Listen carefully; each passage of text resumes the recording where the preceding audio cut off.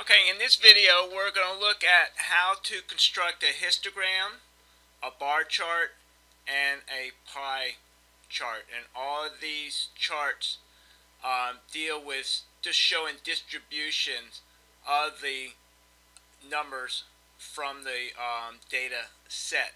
And again, we're going to use bins on the data set. These were the same bins that we used in our frequency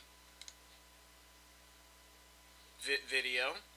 And again, to get the, to decide on the number of bins or how many uh, spaces are within the bins, there is a, a, actual arithmetic operation you can do.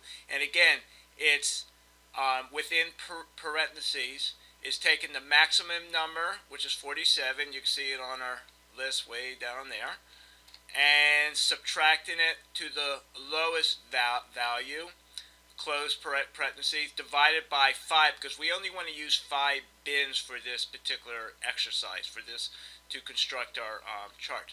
So, and for the histogram, you will need the bins. So after you do the op operation, 9 will be the answer, um, but we're going to um, round up to 10 for our bins. In other words, it will count all the numbers up to um, the up to 10 and then the next bin will be 11 to 20 and so so forth. Alright now let's get rid of that. Let's see how we can construct a histogram. Alright first you need the ToolPak. So go to da data. If you don't have the ToolPak already installed please look at the videos that shows you how to install the ToolPak data analysis. Histogram. Right there we got it high highlighted. Okay. Now what I'm going to do is input arrange. I'm going to include the label, control shift down arrow, capture all the data. Then in this box, bin range, including the label, put all the numbers in there. Now, this is very important for um, when it comes to the histogram. First, you want to output where you're going to put the um, histogram. I'm going to just put it on this page. I can select a new work worksheet, but I'm, I'm going to just put it on here. And I'm going to just put it right there. Now, watch what's going to happen also. Also, make sure that you check chart output. Make sure your labels is checked. Don't worry about these other um, commands right, right there. And press OK. All right, here, here it is. I'm going to that a little bit larger. And there we go. Now, as you can see here, here is the histogram, but it's not complete yet, at least to my satisfaction. What we want to do then is first, we want to make it a little bit more presentable uh, when you do histograms, it will do the frequency count for you. Notice that. It will do the frequency count for you. It's the same as the frequency count right there in our last exercise. However, we don't want the more in there. So I'm going to highlight horizontally. I'm going to right click. I'm going to go to delete. And I'm going to say shift up. And there we go. Okay, cleaned it up some, but it's still a little bit of work. Histograms, traditionally, at least the way I was taught in all the textbooks I've been reading, says the, the, that there should be no gaps between the bars. Or among the bars, or between the bars. Let's put be, between the bars. So, I'm going to go to Format. And right here, gap width. I'm going to close it to zero. There it is right there.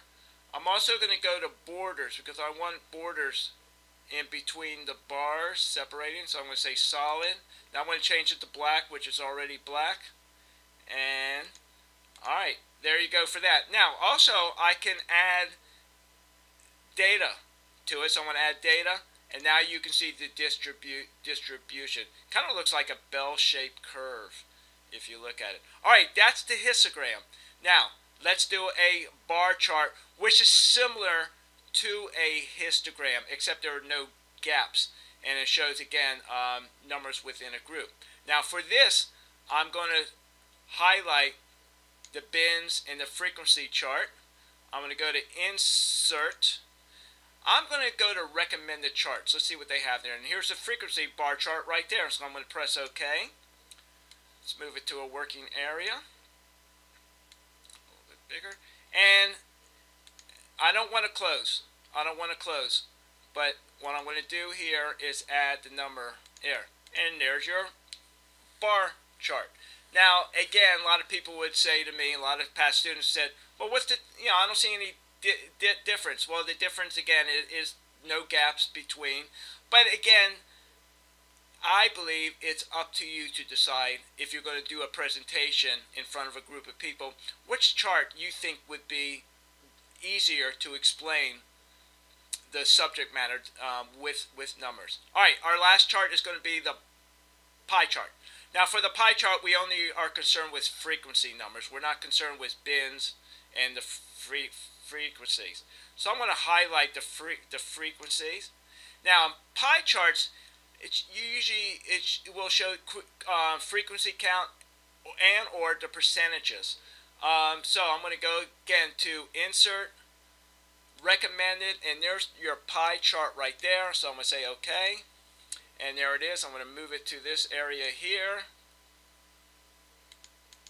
A little bit bigger for y'all.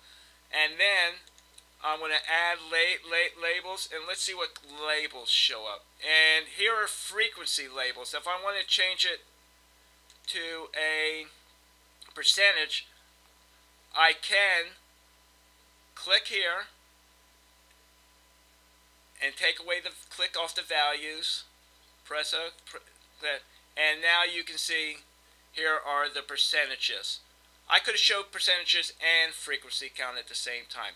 Alright, so what we did in this vi video is we showed a histogram, how to build a histogram, how to build a bar chart, and how to build a pie chart. Okay, that's about all I have to say.